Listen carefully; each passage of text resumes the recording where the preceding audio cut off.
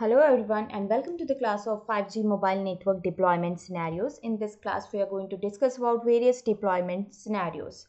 So basically there are two possible scenarios for nationwide deployment, scenario 1 and scenario 2. If scenario 1 is NSA first deployment like NSA then migration to SA. Here we can have quick 5G deployment with low capex and simple operation whereas in scenario 2 which is mixed first deployment and SA in metropolitan and major cities whereas NSA in all other areas. So we are having nationwide SA.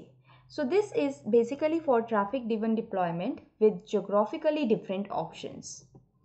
So 5G deployment and migration issues like we can have various migration issues with this 5G deployment like we can have migration time frame from NSA to SA here like NSA in 2019 with release 15 and we can have SA in 2020 with release 16.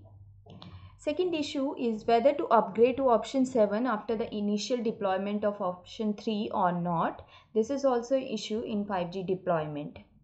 Then we can have partial refarming of LTE to new radio band can be considered as at a mature 5G stage and we can have support of legacy 5G devices, unified control of Wi-Fi apps through the 5G network. So these are all the issues of migration whenever we require to migrate our network or deployment of 5G.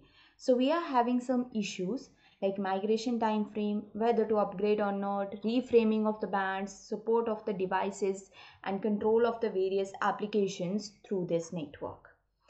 So basically we have to follow these deployment scenarios for 5G mobile network deployment. Thank you so much.